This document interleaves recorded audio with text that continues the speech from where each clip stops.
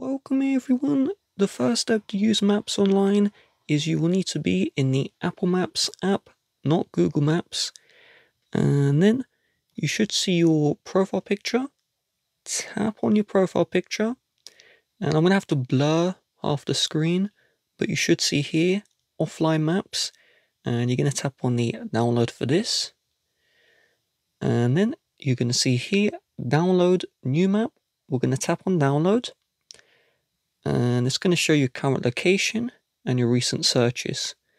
And of course, you can search for city or area you want to download.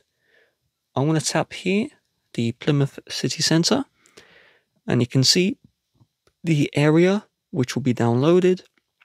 And if you need more space to be downloaded, just zoom out and you can see the size of the download and you can move this around you can drag with your finger. So let's get the Plymouth downloaded. So we'll just download here and you can see the downloaded and let's wait for this one. And now if we tap on the Plymouth here, we can see the map, we can delete the map and we can resize the amount we have downloaded.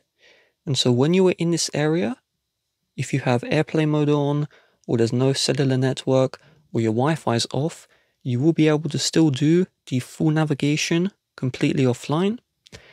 And you also have automatic updates. So if a restaurant or a store or anything changes in the area, well, with the update, it's going to update that into your offline maps automatically.